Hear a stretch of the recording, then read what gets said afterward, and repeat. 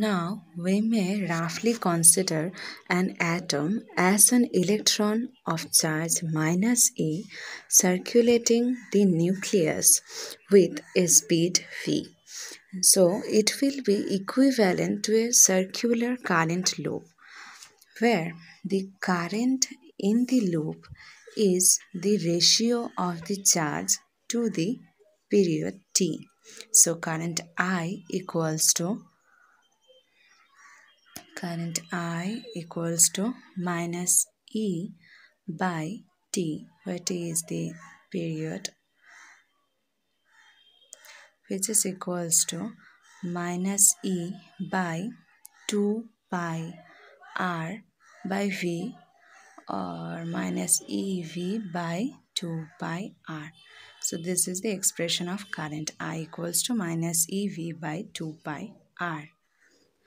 Now the magnetic moment mu will be equals to magnetic moment mu equals to current into area of the loop.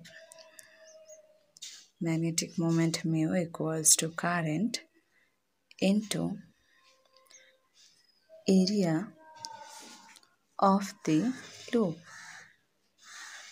where current I as we previously calculated the value of I which is minus E by 2 pi r into area which is pi r square. Now magnetic moment mu will can will have the value minus EV by 2 into r.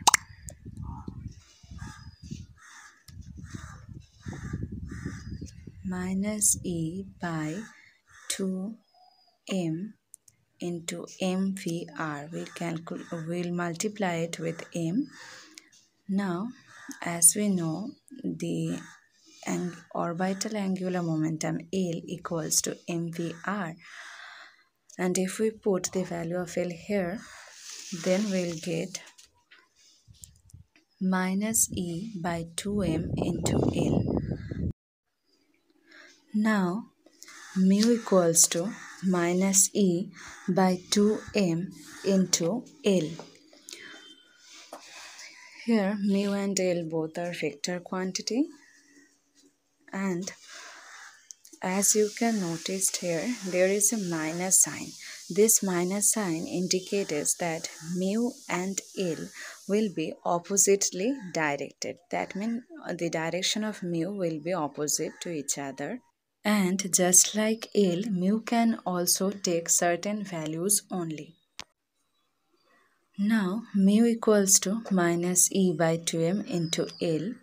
So, mu equals to minus E by 2m into L.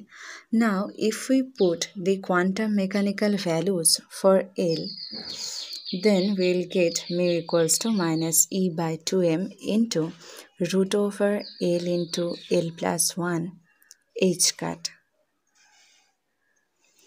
Now it will be equals to minus E h cut by 2m into root over L into L plus 1 which is equals to minus mu b root over L into L plus 1 where mu b is equals to eh cut by 2m. This mu b equals to eh cut by 2m is called as Bohr magneton. Bohr magneton. Now this mu b has value 9.27 into 10 to the power minus 24 joule per Tesla. Now mu equals to minus E by 2m into L. Now mu z, the z component mu z equals to minus E by 2m into Lz which is equals to minus E by 2m into ml h cut where Lz equals to ml h cut. which is equals to minus eh cut by 2m into ml. Now we will put eh cut by 2m equals to mu b. So it will be minus mu b into ml. Now root over L into L plus 1 is greater than ml. Since root over L into L plus 1 is greater than ml, that means mod value of mu is greater than mu z. That means the magnetic moments of the atoms are oriented at random.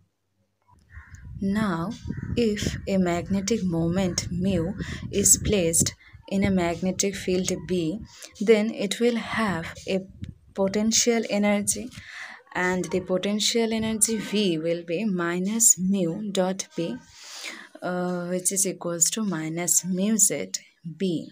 And now we put the value of mu Z which is minus mu B into ml.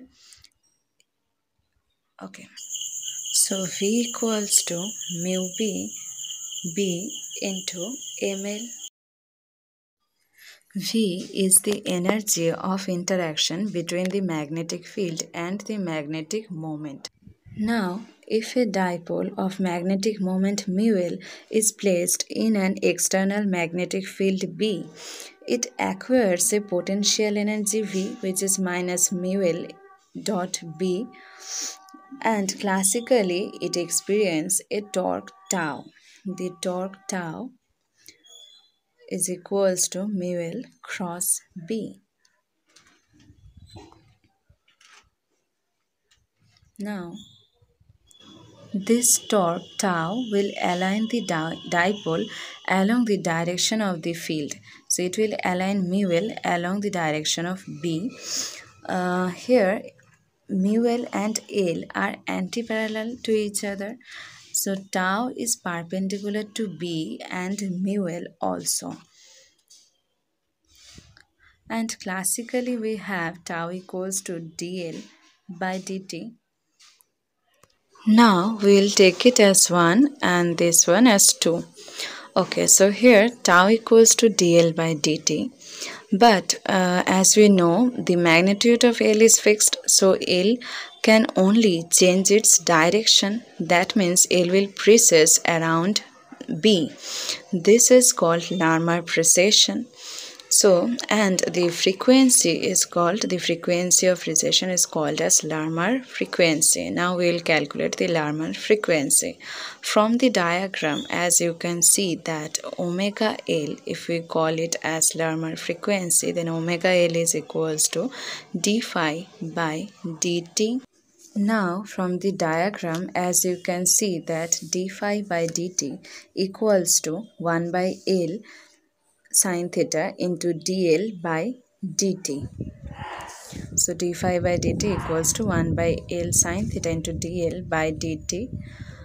Now dl by dt from our expression 2 that tau equals to dl by dt we'll put the value of dl by dt equals to tau here.